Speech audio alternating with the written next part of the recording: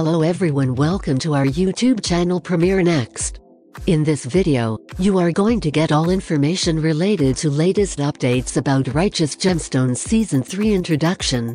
Satire TV show The Righteous Gemstones began from August 18, 2019 at HBO channel from United States. TV series has 18 episodes and two seasons shown each Sunday at 10 p.m. It was made by Edie Patterson and S. Scott Clackham.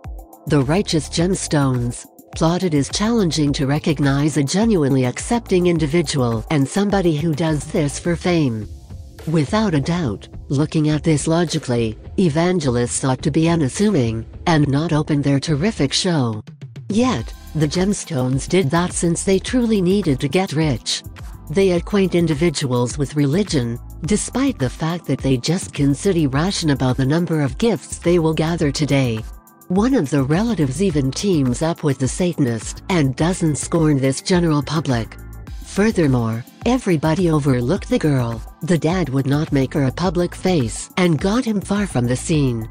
It appears to be that she is the one in particular who needs to set out on an honest way and is attempting to make her family reconsider it. In any case, they like the existence of show sprinters, liars and party individuals. The Righteous Gemstones Season 3 release date The HBO channel isn't yet reported their arrangements with TV series The Righteous Gemstones.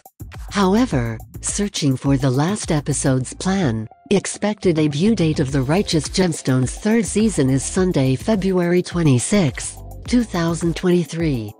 The Righteous Gemstones Season 3 cast the lead jobs in TV series was played by John Goodman as Eli Gemstone and Danny McBride as Jesse Gemstone.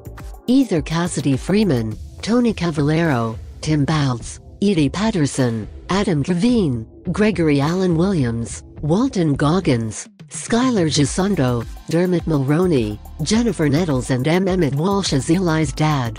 If you are watching this video on Facebook please like and subscribe to our Facebook page and if you are watching this video on YouTube please click on the like button and do subscribe for the latest update.